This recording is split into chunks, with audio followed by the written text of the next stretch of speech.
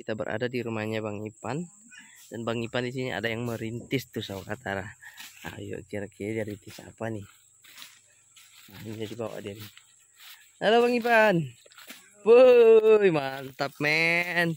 Ini baru dia Bang Ipan sama Katara. Enak kah di anu ya? Di rintis. Enggak keras ya? Enggak ya sama Katara. Nah, itu. Kira-kira apa lagi tanam sini Bang Ipan?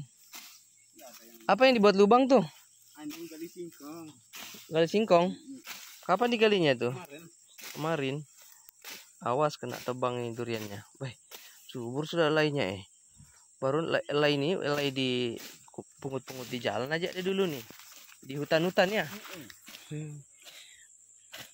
Ya sini dulu Bang. Ini sudah dua tahun kayaknya ini belum kah? Udah.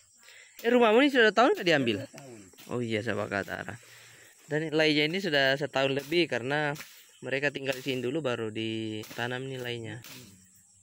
Ya gini dong dirintis biar tidak berumput. Kayaknya pernah kau rintis juga ya? Cepat betul ya tumbuhnya. Wih, ternyata Bang Ipan kiri kanan. Kalau rintis betul-betul rata kah biasa di Bang Ipan? Kalau di kayak digaji orang gitu, Bah? Merintis untuk tanam padi. Rintisnya kayak mana? Bukan kayak gini. Bukan kayak gini. Hmm. Bagus kalau rintisan orang tanam padi itu. hmm.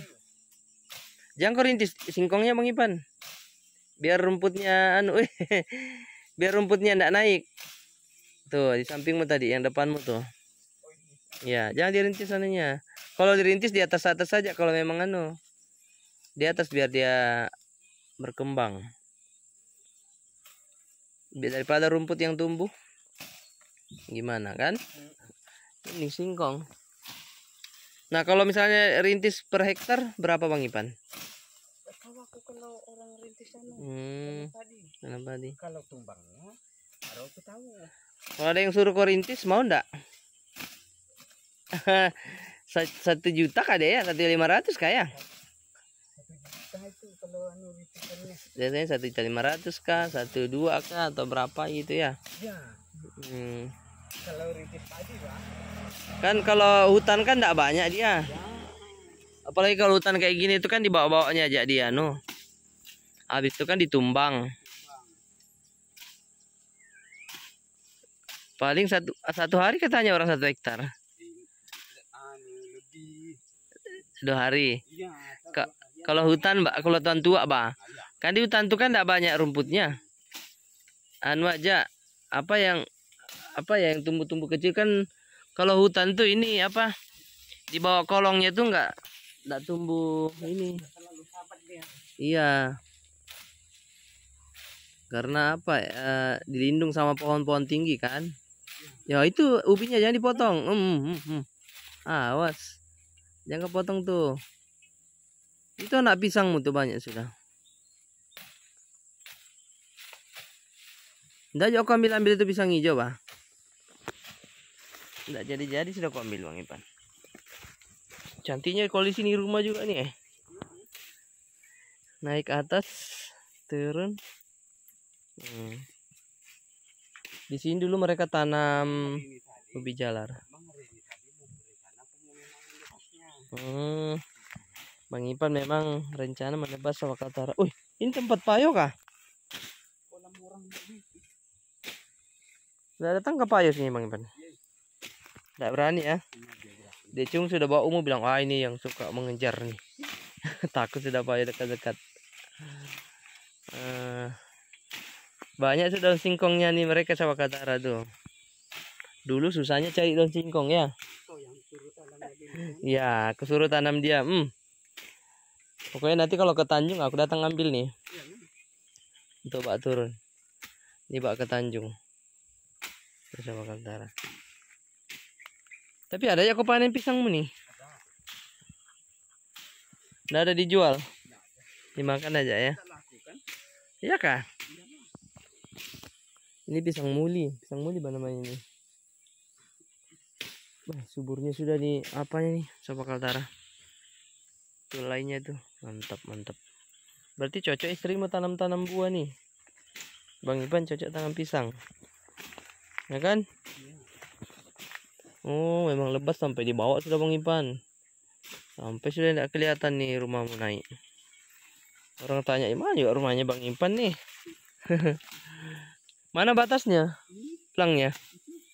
Oh. Bisa kata Bang Ipan nih kalau masalah merintis nih sawah Kaltara.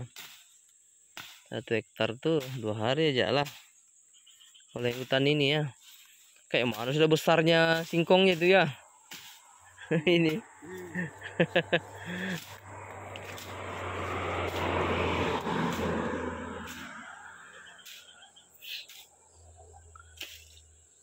Sebenarnya sini rata, enak sini jalan munaknya. Lurus. Kalau di bawah situ masih tanahnya orang kah ke tempat ini? Yang tempat jalan di bawah. Enggak punya aku. Masih penyamu ya. Aku pindah jembatan tuh kan Hmm. dari Tunggul itu. Berapa tadi lebarnya? 30 ya? 20. 20 ya. 20 ya, masih dua rumah. Bisa dua rumah sini. Tiga pun bisa. 50 ke belakang kan? Ya. Wih. Coba kata itu berkat dari kiriman eh, sahabat-sahabat kita di luar sana, orang-orang baik dulu mengirimkan eh, donasi untuk Bang Ipan ya. Untuk membeli tanah, buat rumah, akhirnya semua tercapai sama kata.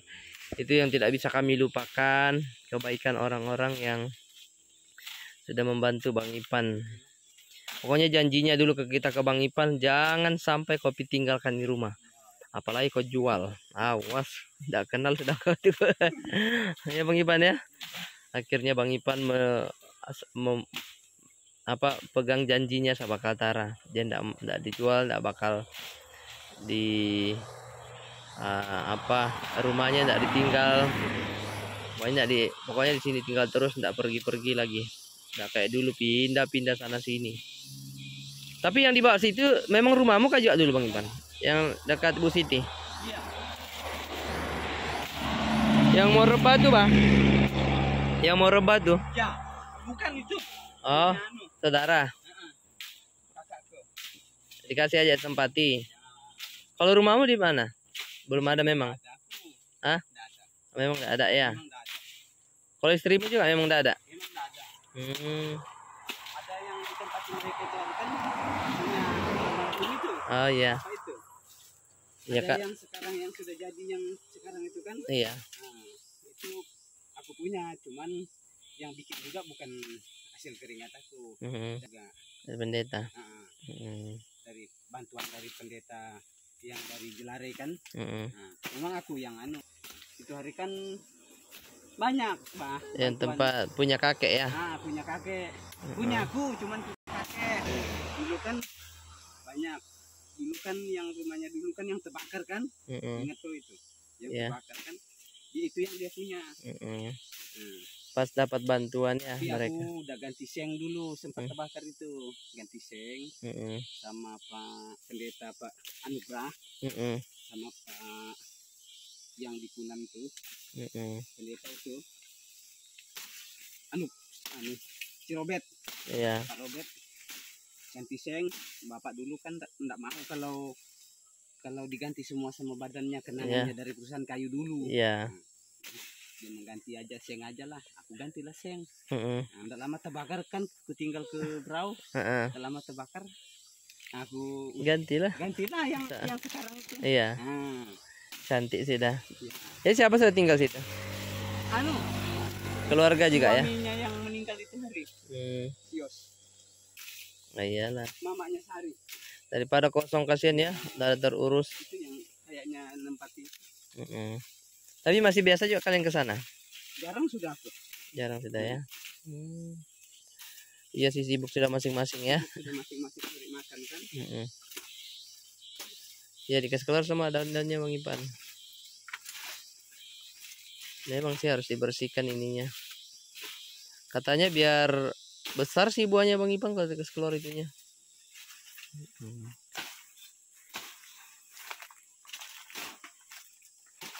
Ini coba kata Bang Ipan ini lagi merintis bersihkan halaman rumahnya itu kan enak dilihat tuh kalau bersih tuh teman-teman buat tulang Bang Ipan tidak ke mana-mana jadi dia merintis sini Hmm. mantap Bang Ipan oke sama-sama. Tajamnya pisaumu parang